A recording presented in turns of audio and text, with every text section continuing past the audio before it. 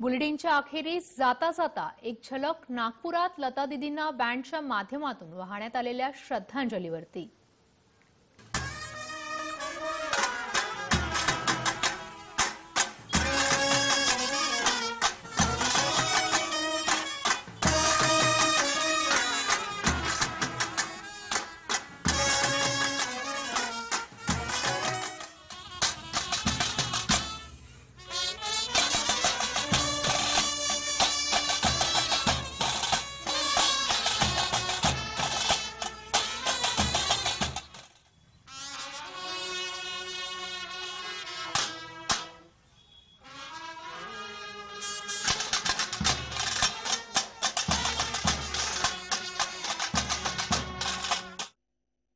आज हमारे बीच लता जी नहीं रही।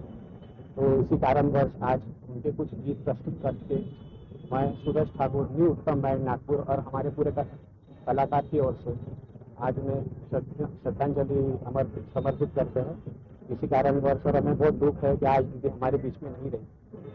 और आज उनके जो गीत है वो जितने भी गीत है वो अमर है। आ, और आज हम उन्हीं के गीत की वजह से हम आज इतना सब कुछ अपना नाम कर पा रहे हैं।